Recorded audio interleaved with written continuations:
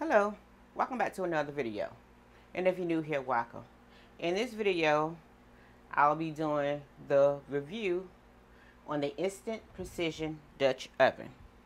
Okay, I said I will come back with a recipe, you know, to do a review on the Dutch oven. So here we go. Right here I have two London broil roasts.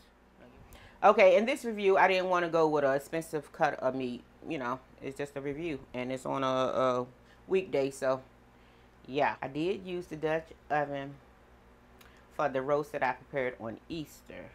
I should have recorded that, but y'all, you know, family, so I ain't want to do all that, okay?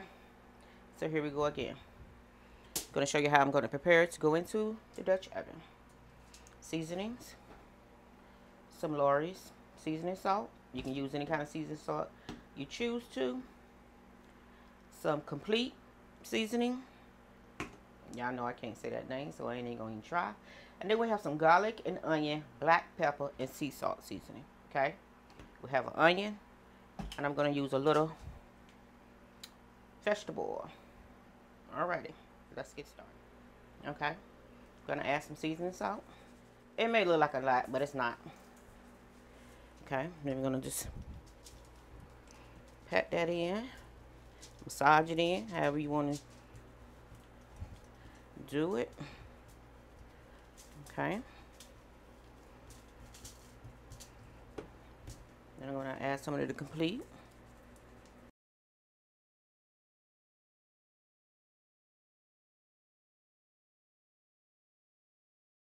Now we're going to flip them over and do the same thing on the other side.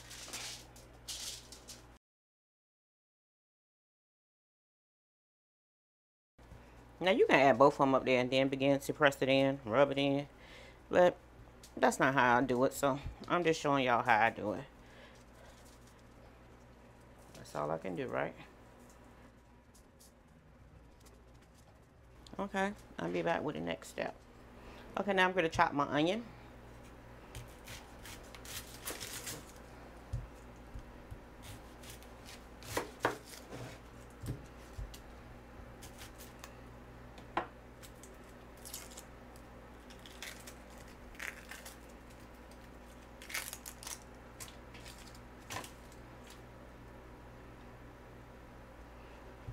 Not going to do small pieces.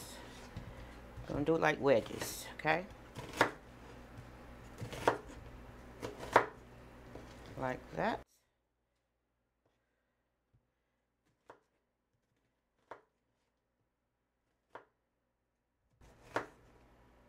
Like that. Okay. I already have the plugged in, so I'm going to hit sear.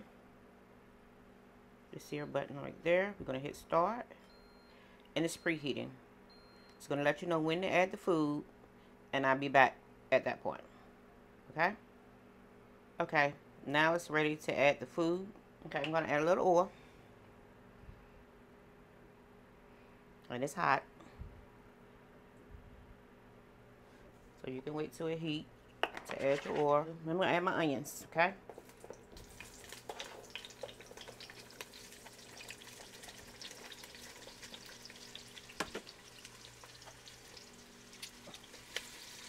I'm going to let these go for a little bit. I don't want to cook them too much.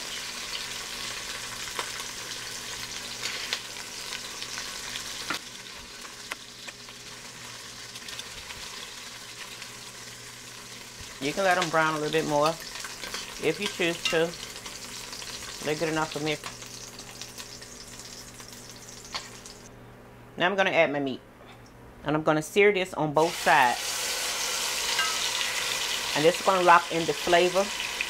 And you only want to do this for like a couple of minutes on each side. Maybe two or three minutes on each side. You can check it to see if it's not brown enough for me.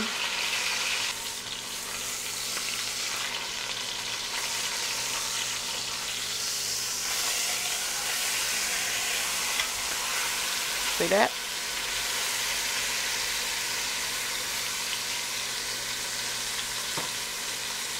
And I'm going to do the other one the same way. Okay, this is what you're looking for. You just want to get some color on both sides. This is not for to cook it all the way through. This is for just to lock in your flavor. Okay? Now we're going to remove this from the pan, pot, whatever you want to call it. All right? And you see all that goodness at the bottom? You're going to add us some water. This is about two cups of water. You can add it slow.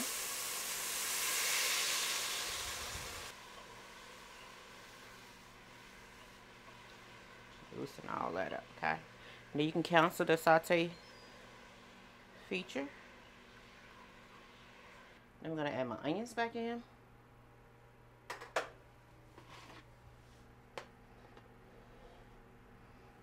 I don't want to slaughter everywhere. Okay. Now I'm going to add this seasoning and the water. Just a little extra. You don't need a whole lot because remember you seasoned your meat. And the drippings at the bottom of the pan seasoned the water when you added the water and scraped it. Scraped the bottom. Okay.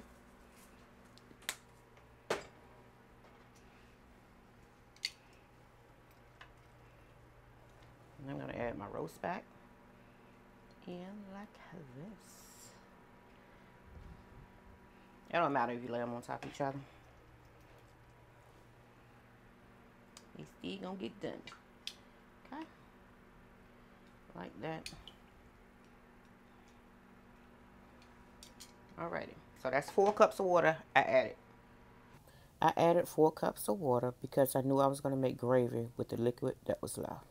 It still says ready. You may not be able to see it because of the lighting. Okay, you're going to push that in like that. I don't even think y'all seen that. I'm sorry. Gonna hit slow cook.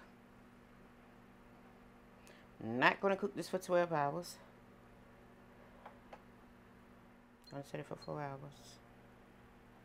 Maybe five. So we have for dinner. I'm gonna do four. okay. It's gonna be good to go, y'all, within four hours. Gonna hit start.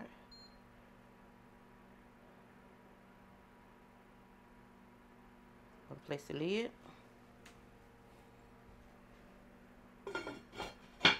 And let it do what it do. Now if you don't want it to fall apart, then I guess you wouldn't cook it as long. But uh I like mine a little tender. Okay. Now I'm gonna take this out of here. Gonna place it on some foil. Now, of course, you guys, y'all know y'all can cook this in y'all oven. Alrighty. Okay, so now what I'm going to do, I'm going to set it aside. At this point, I added some cornstarch to some cold water to thicken this liquid for my gravy. Okay, it's time to plate it up. Paired it with some baby potatoes and some steamed fresh green beans. Okay.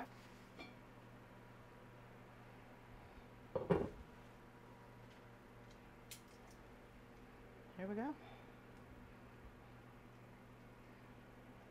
And this falls apart. You see that? That's how I like it. And if you don't like yours like that, then I'm sorry. It's good to me. Alrighty. And there you have it. I do enjoy this um, appliance. So, would I recommend getting it if you're looking for another crock pot, Dutch oven? Yes, I would recommend it. Okay.